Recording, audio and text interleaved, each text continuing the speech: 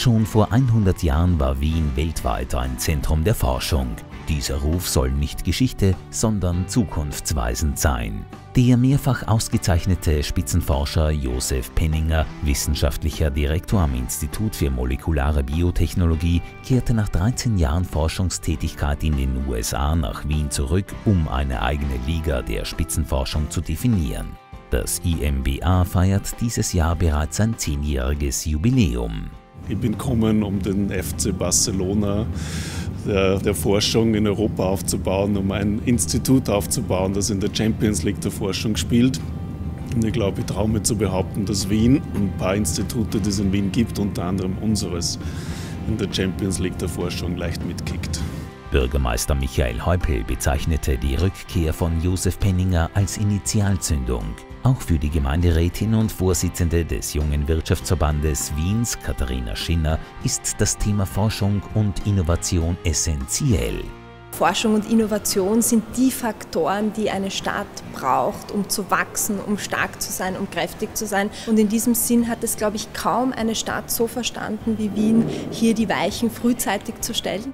Anhand von 162 Kriterien wurde Wien aus 445 Städten zur drittinnovativsten Stadt der Welt gekürt. Europaweit liegt Wien sogar auf dem ersten Platz.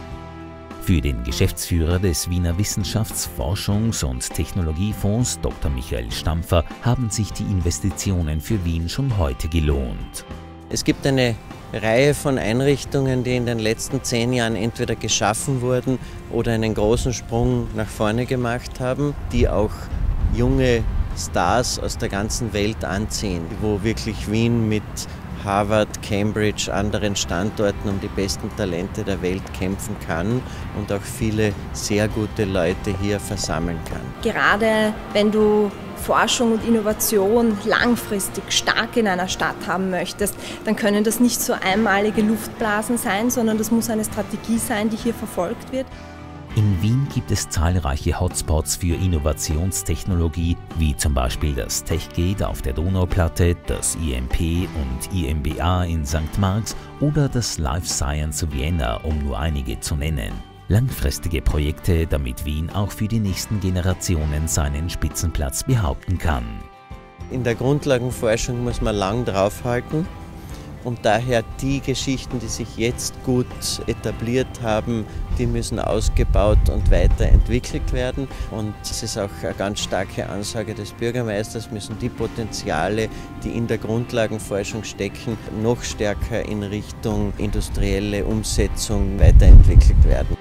Die Investitionen in die heutigen Forschungskapazitäten sind direkte Investitionen für die Stärkung der Wiener Wirtschaftsleistung.